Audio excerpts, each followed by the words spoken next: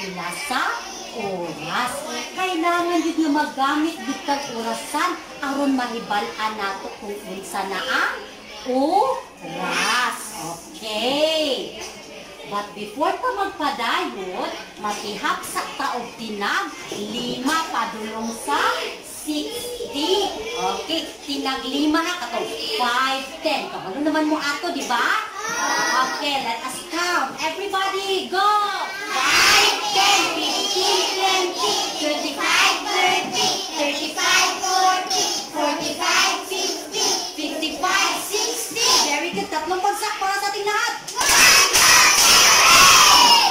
Very good. Now, karon, naayipakita si teacher nga orasan. Picture ni siya sa orasan, na ako'y tinuod si teacher nga orasan. Mauni siya ang tinuod nga orasan, pero dili na siya ga-under kay daot na. Naapoy orasan si teacher nga tinuod pud nga orasan pero ga-under pa siya. Mauni siya ang sakto nga oras karon. Now, pangutana ni teacher, unsa man inyong nabantayan sa orasan? Very good, Geraclyn. Adunay, numero. Unsa man ang numero nga anaa diri sa orasan? Very good. Very good, J. Lord. What? Padulong sa 12. Ihapon daw nato tanan, Go!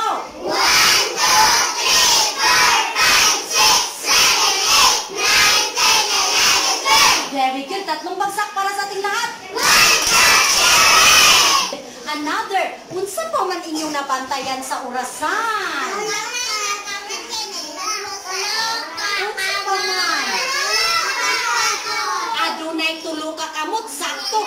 Iyang bi. One, Sakto. Adunay tulo ka kamot ang orasan. Now, another nga pangutana ni teacher. Unsa man ni nga unsa man atong tawag ani nga kamot sa orasan kining pinakamubuan pinakamubo nga kamot sa orasan. Unsa may tawag nato ani? Adilin stand up adilin. Unsay tawag nato ani pinakamubo nga kamot sa orasan? Very good. Our Unsay tawag nato? Our hand. Nganong gitawag siya nga our hand? Kay Very good. Kay gasuti siya sa oras. Very good. Adeline, sit down. Okay. Gitawag ni siya nga our hand. Kay gasuti siya sa oras. Kay gasuti sa oras. Very good. How about ang ikaduha nga kamot sa orasan kining taas? Unsa man ang atong tawag ani? Kinsay nakahibalo? Naabay nakabalo? Yes! Nag-hands up si Mark Ian. Unsa may tawag nato ni Mark Ian? Very good, minute hand. Ang pangutana ni teacher. Nganong itawag man ni siya nga minute hand? Ini.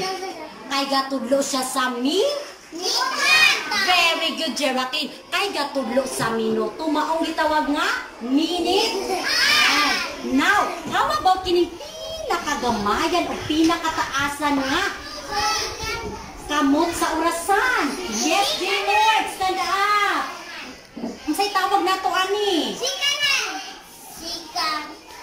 Oh, very good. Very good, J-Lord. Gitawag di siya nga second hand. Now, ang pangutana ni teacher. Nga nang itawag man ni siya nga second hand?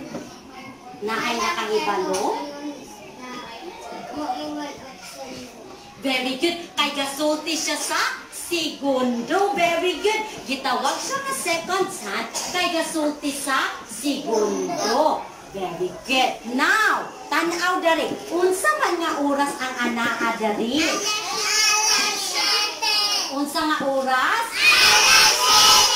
Now, ang pangutana ni teacher. Nganong, nganong nakabaluman mo nga alas 7 ang oras? Very good. Kay ang mubo nga kamot or gitawag nato nga our hand, iyang gitudlo ang 7.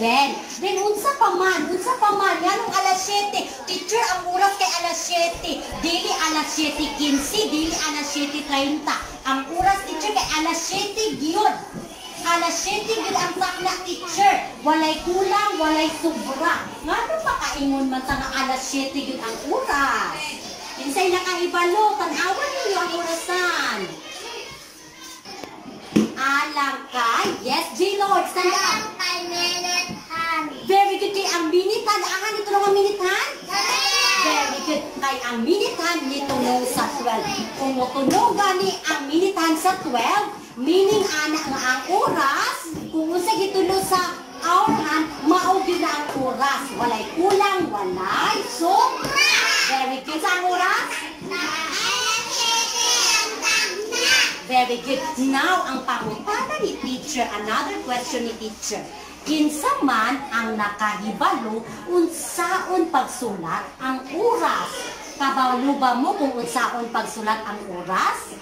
Yes, Jeraklyn. Kabalo ka, Jeraklyn? Okay. Jeraklyn, come here. Okay. Now, ang answer ni Jeraklyn sakto ingon anion pagsulat sa oras. Again, tatlong bagsak para kay Jeraklyn. Go! Now, karon aduna ipakita si teacher nga oras. Isulat ni teacher ang time or ang oras.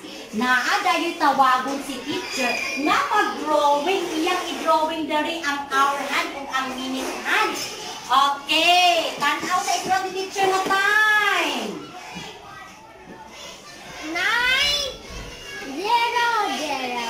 Okay. Kinsa man ang kabalo mag-draw sa minute hand o sa hour hand. Yes, Iit. Okay, maabot ni Iit. You draw. Tanawa ang time ha. Ang time time sa kining oras. Alas. Very good. Alas 9. Okay, very good, Iit. Sakto ang answer ni Iit. Very good. Tatlong bagsak para kay Iit. Go! Okay, sakto. Ingon ani ang pagsulat sa oras ug ingon ani pod ang pagdraw, pagdrawing sa oras. Tan-awa ha, unsa kay ang oras? Alas?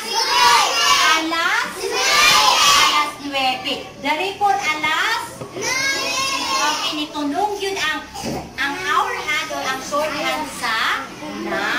Dayon ang minute nitulong siya sa 12. Okay, karon diha na to sa atong group activity. Are you ready? At the count of 10, dapat naa na sa inyong group. Wala pa. Dari ang group 1, dari ang group 2, dari ang group 3. Okay, at the count of 10, dapat naa na sa... Oh, so, para inyo si teacher nga go. Naa na sa inyong group. One, two, three, go! One, two, three, four, five, six, seven, eight, nine, and ten. Everybody, arms forward. Forward. Okay. Now, ani hatagan mo ni teacher kada group o pentel pen. Inyong buhaton, inyong i-draw diri ang time nga ipakita ni teacher gamit ang cube. Pag-draw ni teacher, ang nasa ibabaw nga time, for example, kining 6, mauna yun ang inyong i-draw. Nasabkan. So, for example, sa group 1, si Iich man ang nag-una. So, siya ang una nga mag-answer. Sa group 2, si Adeline. Sa group 3, si Jera. Pag human nilang answer, balhin din sila sa luyo, then kining pentel pen, ihatag nila sa ilahang classmate nga sunod sa ilaha. Nasabtan? Okay. Moni sa group 3, group 2, and group 1. Okay, careful. Careful kay maibo ng laptop teacher. Okay, now dari mag-answer ang group 1, dari mag-answer ang group 2, group 2, inyo ni dari, dari mag-answer ang group 3. Okay, are you ready? Uh, the time is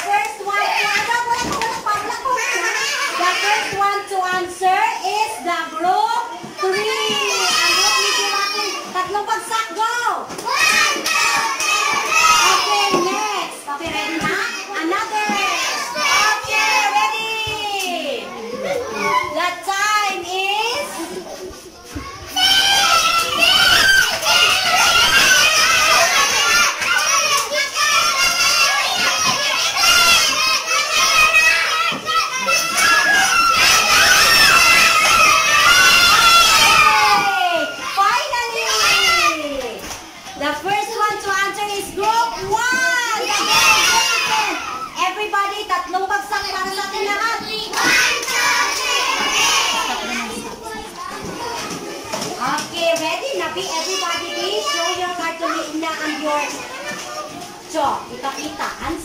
Tapos, white chalk. Nakatanan.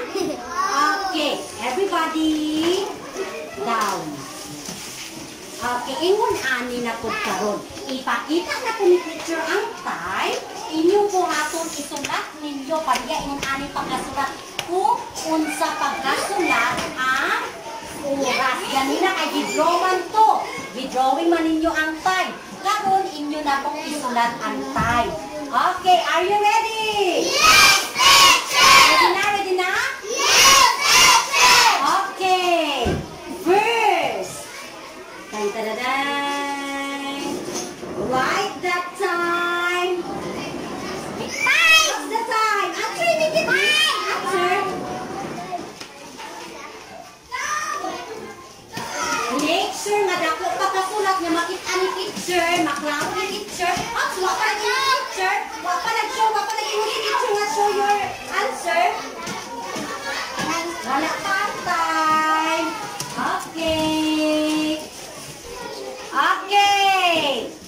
Three, two, one. Show your answer. Ay, naay bali. Tarong nga sakto pagpakita ka teacher kay nabali ang uban. Mitchell, bali mong answer. Okay, very good, very good, very good, very good. Okay, tatlong bagsak para sa ating lahat. Go! Okay, tanan yun naka-answer. Hopefully, walay nagkupiyat ya, ha? Another! Another!